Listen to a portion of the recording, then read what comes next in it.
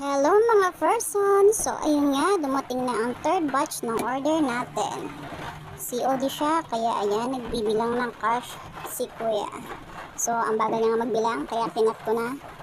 Ngayon ay mag-unbox tayo ng ating package. Medyo umuulan nga, kaya yung package natin ay medyo basa-basa.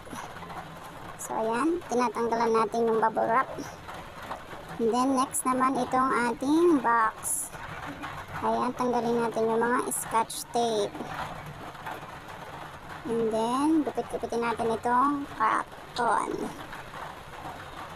Goods naman yung kanyang packaging kasi secure naman yung ating package. So, ayan, another box.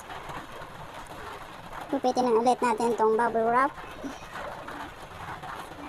Ayan, and then,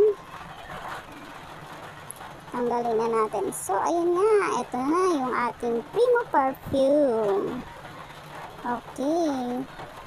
Hindi na magagalit yung mga umorder nito. Kasi, andito na ang kanilang perfume.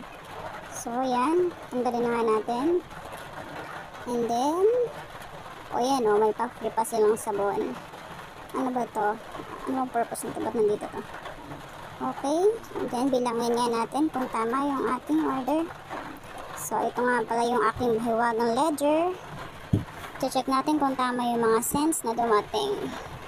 And sesegregate na rin natin. Okay, double check lang kasi baka may miss tayo. Okay. Ayan. Okay, so far so good naman.